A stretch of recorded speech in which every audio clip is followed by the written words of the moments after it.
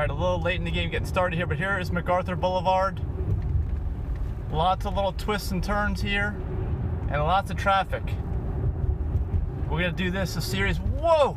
I would have hit that telephone pole. oh my gosh! Like now it's not engaging. This is a very challenging area here. A couple, a whole bunch of S curves, and they're at speed. Obviously, the autopilot's got to learn this.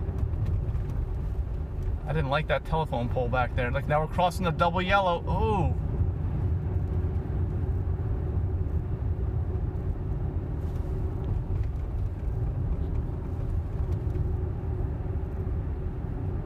Okay, we're just about at the end of the really twisty part here. That you see see those curves above, uh, right above, in front of us, below. They're just twist and twist.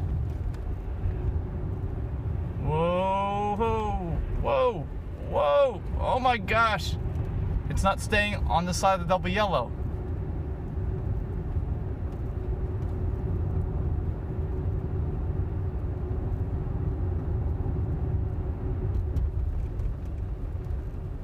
All right, well, this is the last curve right here, and this is it. We're gonna go doing this on a regular basis and seeing hopefully how autopilot improves over time.